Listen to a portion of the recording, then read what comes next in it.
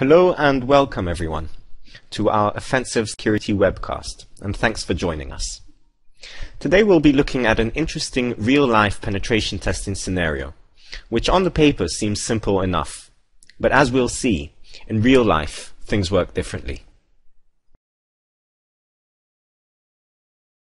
Our pentest starts off by researching our target and enumerating their network and human infrastructure.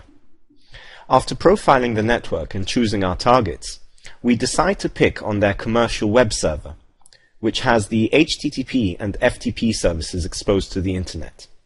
We do not know this yet, but this server has a backend database which lives in an internal non-routable network.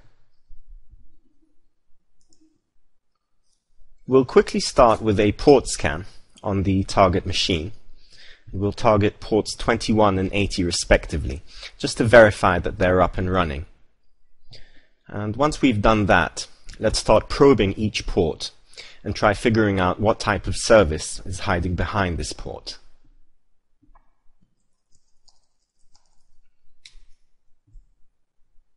So that's an HTTP server running Apache on Ubuntu. And let's quickly FTP to our FTP server. Now, after a bit of prodding, we realized that this server was running a ProFTP MySQL authentication mechanism. So we've just seen that we don't have anonymous access to this web server. But if we try and exploit the SQL vulnerability, the SQL injection vulnerability on this server, then we can actually bypass the authentication mechanism and log in. So this is a great starting point. We have unauthenticated access to the FTP server, but we quickly face a small problem. There are hundreds of FTP users defined in the database, each with his own home directory. We can upload and download files to our liking, but there's no visible path to code execution unless we can find the FTP user that gets mapped to the HTTP root of the web server. A short piece of Python code can solve that by brute forcing the FTP user home directories and searching for the right user. The following script shows a simplified brute force attack. Essentially, we're logging in as each user in the system and we simply print out the home directory of that user. So let's quickly run this script and see what happens. So in our testing environment, the first few users have nothing in their home directory, but user number five, or user number six actually, has all these files mapped to his home directory, and these files look suspiciously similar to what you'd expect to find in a web root. So we assumed that this was the right user. This user was really mapped to the web root. Let's quickly check that by manually trying to log in as this user.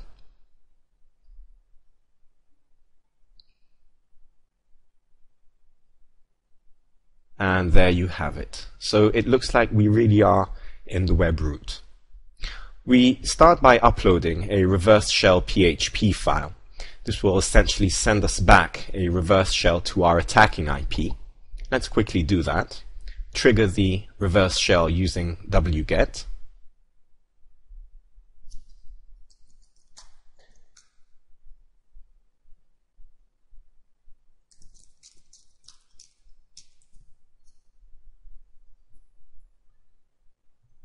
and we get our reverse shell. Notice that we're running with the permissions of the web server we're not running as a privileged user. So now that we have initial access to our web server, let's start poking around the PHP code and see if we can somehow elevate our permissions or elevate our access to other servers. Now, considering this is a dynamic e-commerce web server, we should expect to at least find some credentials to a database server where all the sensitive information is stored. And a quick peek at our access at our shell of the web server shows us that this machine is dual homed. So after a bit of prodding, we found a configuration file which holds some interesting information. Let's take a quick look at that. The file is called configure.php and amongst other things it contains some interesting information. For example, a MySQL server host. We can see that this is a non-routable IP address, a username and a password. So we take these credentials and we try logging in from the web server, from our compromised web server, to the internal non-routable database server with the credentials we find. And lo and behold, once we try to dump the database into our HTTP server, we dump it into a writable directory such as images, um, all the data just pours out. So this file, which was dumped from the internal database, is now on the external web server and should be accessible to us through our browser. Let's quickly try that.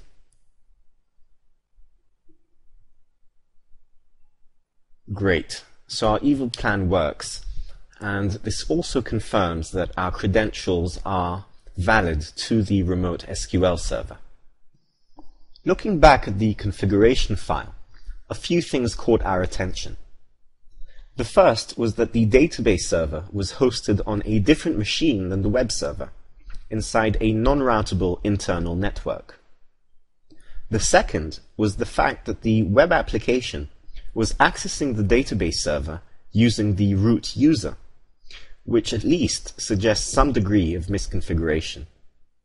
So this vector just got bumped up in our priority list, and we decide to pursue it head on we will need to upload some files. So we quickly upload some utility PHP and HTML files, which will allow us to upload our malicious files to the web server. But these files are interesting in a way, as they won't be simply uploading files to the web server. Um, the PHP script uploaded to the web server will actually take a binary file and load it into the remote SQL server using the credentials that we found earlier. So essentially, we're going to be binary dumping information into the internal um, database server by using the HTTP server as a proxy. So we quickly upload a reverse shell, a compiled binary reverse shell, and a precompiled MySQL external function, a UDF library. Now this UDF library is evil in the fact that it can essentially introduce command execution into the MySQL server. And our evil plan is to dump the files from the database server to the MySQL um, file system. And this is interesting because essentially we're once again bypassing the fact that the internal database server is non-routable. So we quickly log into the MySQL server through our um, compromised Apache web server, once again using the credentials we found in the config file. And now that all the files are in place, the UDF files are in place, essentially we're going to be dumping the information, the binary files in the database to the local file system. So we just need to introduce the new schema for our UDF function. Once again, we'll quickly log into the SQL server as we've been kicked out. And once logged in, we'll use our specific database. We'll expand the schema to allow all these external functions. And now that everything is in place, we can simply execute the BD file, which is located in slash temp. And this should be sending us a reverse shell just as we run this command. Remember that this reverse shell is now coming from the internal non-routable MySQL server, and it's allowed to reach us as the firewall rules allow outgoing port 3306. So once we hit that command, once we hit that enter button, of course we need to get our netcat listener. We should be getting a shell from the internal MySQL server.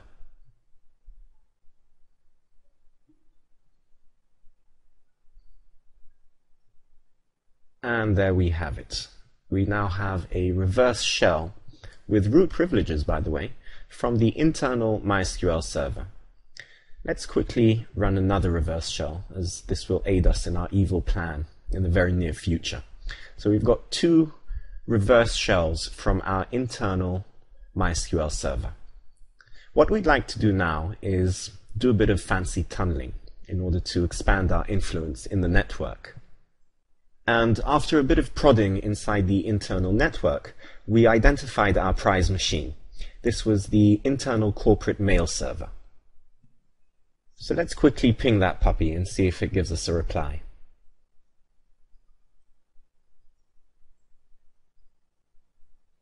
Alright, so we get a reply. And what we want to do now is quickly run a very basic vulnerability scan against our mail server. And in order to do this, we'll be building a reverse SSH tunnel, which will redirect port 445 on the internal mail server to our attacking machine. So let's quickly build that tunnel and check that the tunnel was created um, entirely. We'll rename the console Windows session just so we don't get confused as tunnels keep on getting built. And a quick netstat should just verify that our tunnel is alive and well. Let's give that a try.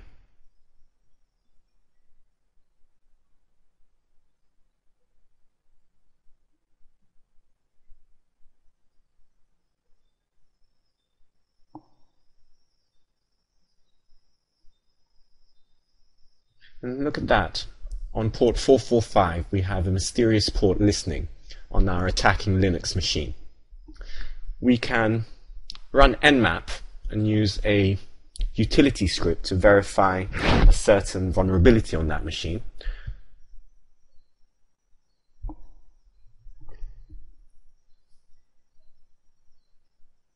And this is essentially running through our tunnel.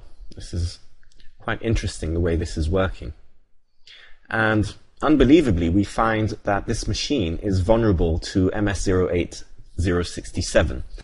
This is the same vulnerability the Conficker worm was exploiting a few months back. So once again, things look nice and easy. We have a classic, well-exploited vulnerability just waiting to be exploited.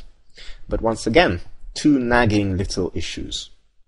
The first is that our prize mail server is located in the internal network, which is non-routable to the internet.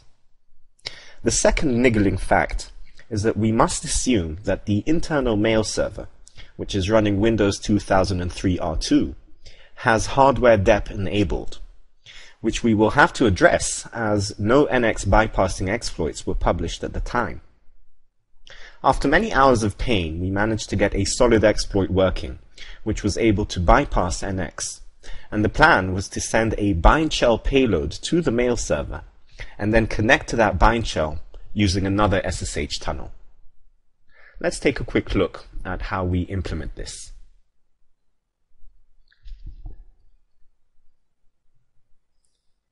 Once again, let's rename this console window so we don't get confused by our tunneling. So this is the tunnel we will be using to get our bind shell.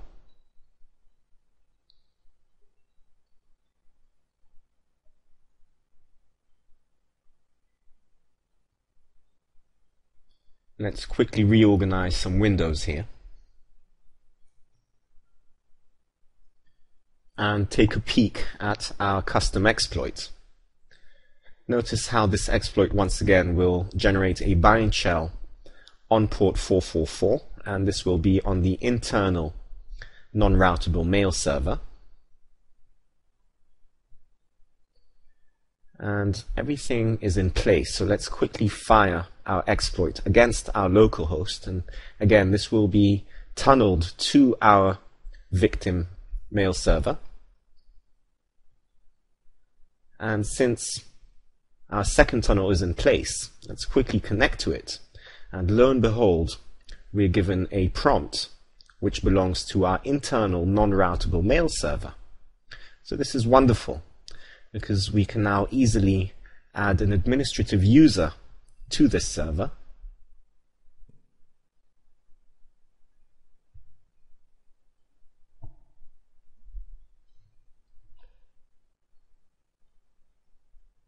And once that's done, we can attempt to create one last tunnel to the remote desktop port. Let's quickly try that. We'll kill our old tunnel and recreate a new one.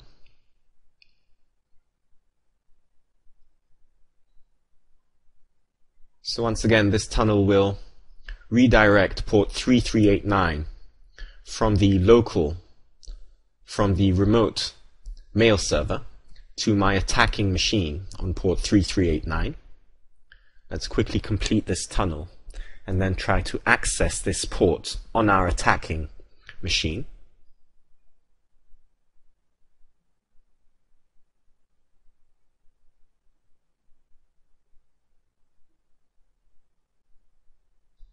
The quick netstat should show us that this port is indeed being tunneled correctly.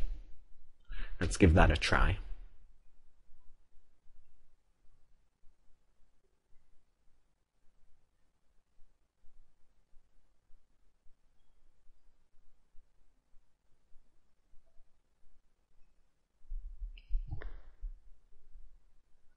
And once again, there you go, port 3389 mapped to our attacking machine.